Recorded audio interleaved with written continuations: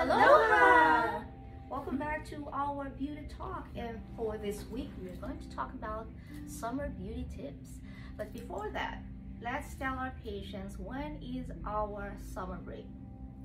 Uh, well, first, we are going to be closed Tuesday, May 31st, observance of Memorial Day. And then we will be closed last week of June, first week of July, two weeks.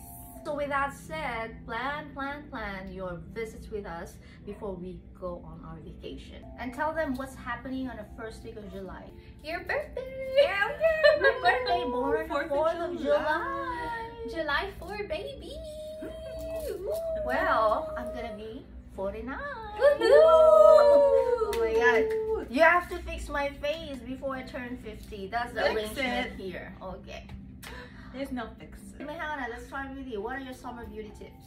My summer beauty tips definitely number one is pack on that sunscreen and wear a hat, like the biggest hat that you can. Like I like those big sun hats, the bigger the better. That's you know? true. what sunscreens do you recommend? We have our very own sunscreen that's really good. The tinted one is good. And we have a clear one. You can use that for your face and body. I like to use it for the body. Oh, and, and so if you like wearing foundation, you just, as much as possible, wear something light. I like the one from Selena, Rare Beauty. I think that's good enough. But always start with a good amount of sunscreen and then wear foundation after. Mm. What about you, Alina? What are your summer tips? Um, mine would be stay hydrated, um, drink lots of water. Another treatment that we have here is the IV drips. So you can come, get an IV drip, you can relax, read a book, get hydrated, vitamins, minerals. And another thing would be um, we have summer booty. with the Radiesse. What is So that? Radiesse is a collagen stimulator and I can inject it in areas to kind of fill in the hip dips or little dimples and cellulite in your booty and make it nice, nice and smooth. nice. Marie, what are your summer tips?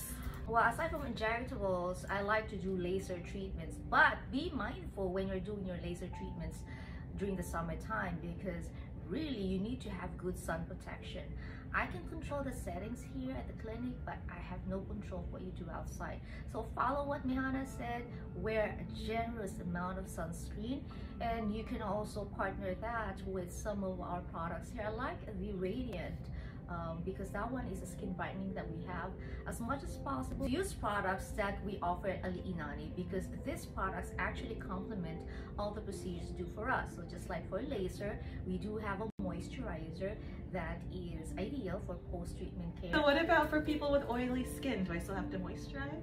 Oh yes, of course. It's very important to still moisturize even though you have oily skin because if you don't use moisturizer then actually your skin will produce more oils mm. and cause more breakouts because it feels dry. When I'm out on the go, I like to stay hydrated by bringing my Ali Nani toner, taking it out of my bag, do a little spritz, spritz, spritz, and you're nice and hydrated. so for more beauty tips Follow us on Instagram and TikTok. and for your appointment You can book online at aliinani.com or give us a call. Our number will be here or down below. thank, you for watching